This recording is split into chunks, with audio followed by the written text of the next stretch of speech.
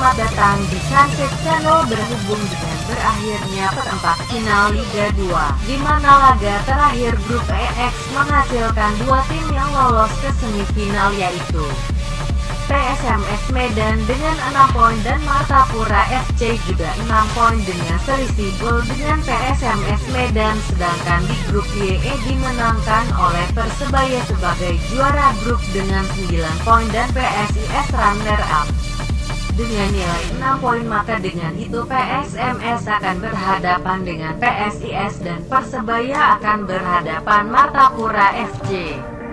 Kedua pertandingan tersebut akan DILAKSAN akan di Stadion Bandung Lautan Api yang dilaksanakan pada hari Sabtu pekan depan yaitu tanggal 25 November 2017.